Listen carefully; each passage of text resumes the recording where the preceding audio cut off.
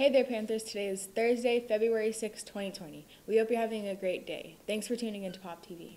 Tonight is the Wrestling County Championship Tournament. The meet starts at 6 p.m. tonight in the LHS gym. Admission is only $4, so come out and support our wrestlers battle Crystal River. Yearbooks are now on sale for $75. There are only 100 yearbooks left. Make sure you buy your yearbook before they sell out. Cinderella Closet is hosting the 13th annual prom dress giveaway at Cornerstone Baptist Church this Saturday from on February 8th at 10 a.m. to 3 p.m.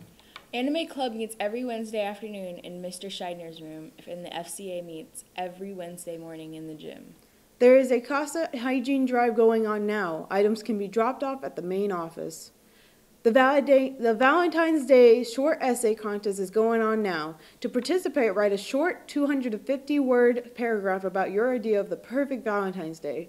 Responses are due February 10th to Miss Malloy or Miss Ambrose and the Media Center. The Fine Arts Department has been hard at work making Valentine's Day cards. These will be available in the courtyard on February 10th. Grab one and share the love.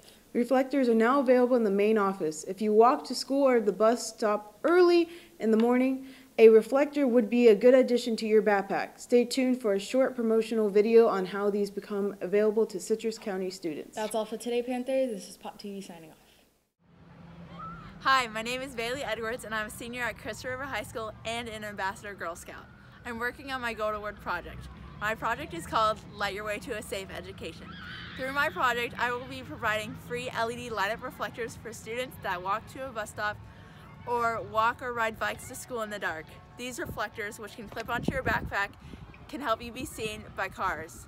These reflectors also have an on-off switch and a replaceable battery. To obtain an LED reflector, please go to the front office or talk to your bus driver. With Valentine's Day coming up, the Fine Arts class has been making heart art to share with you. Feel free to take one and spread the love. You can find these hearts in the courtyard on February 10th after second period.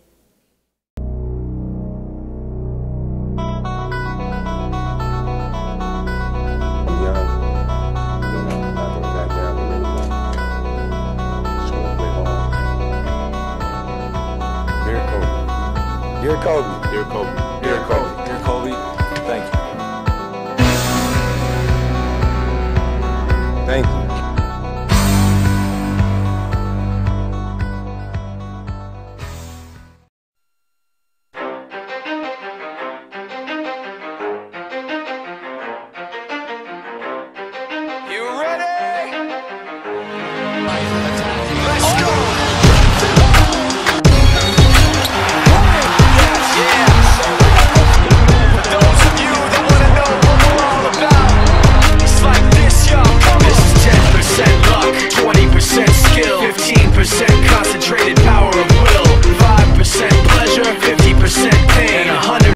On Sunday, there was a helicopter crash that killed nine people, including Kobe Bryant. This will be our tribute video to him and his amazing legacy.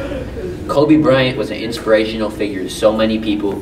His Mamba mentality pushed so many people to become their best, and it definitely made a mark on the NBA.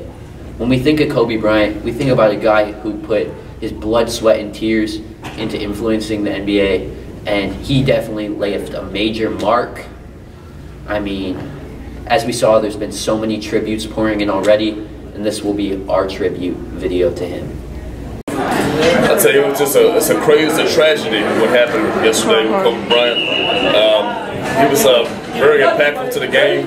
Um, preparation that he put in was uh, second to none. The way he emulated Michael Jordan in this game, uh, there just never will be another player like him. You know, he just he's a tre- tremendous athlete. There's only a few athletes I can think of that uh, that had the same fire that he had. You know, you got Muhammad Ali, Tiger Woods, Mike Tyson, Michael Jordan. You know, he's one of the greatest. He's going he's going very much so be missed. And uh, my prayers go out to his family. I'd say Kobe is a very important person in our lives. He inspired many of us to play basketball and is very important more than just that. And he inspired all of us for a lot more. Um, so yeah, I never really watched way too much basketball, but I definitely know that he was a legend and an icon, and everybody knew him, and it hit a lot of people hard. You know, yeah, Kobe, God rest his soul. Uh, Kobe Bryant, like not only was he just a basketball player, like he influenced like all families around the world. And like the moment he died, like shocked everyone. He, not only uh, people who play sports, but like people who have like childs and like families. And yeah. Kobe was just the GOAT. He was the greatest of all time. He played basketball very well. He was an outstanding father and just a really good uh, sportsmanship kind of guy. All right, I mean, Kobe was a GOAT. You know, he inspired my man down there. He's shooting buckets, Yeah, slam dunking, all that, inspiring. So all the kids gonna look up to him. He was a legend. I feel bad that you know what happened happened, but people go, people pass. So my condolences. No, it's a it's a tragedy what happened to Kobe. He's honestly a big inspiration, and uh, he uh, obviously made a big contribution to the game we know today and love, which is basketball, NBA, and he'll never be forgotten. That's the honest truth. So that's all I really say. My condolences.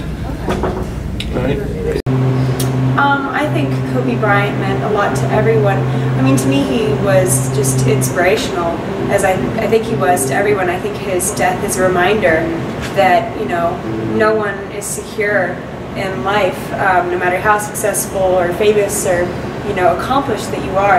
And I think that in his death, he should be a reminder that we need to live to our fullest um, because it's, you know, such a great tragedy, um, such a sad event that no one expected, but no one ever expects bad things to happen. So I think like the best way we can honor him is to live like he can't anymore.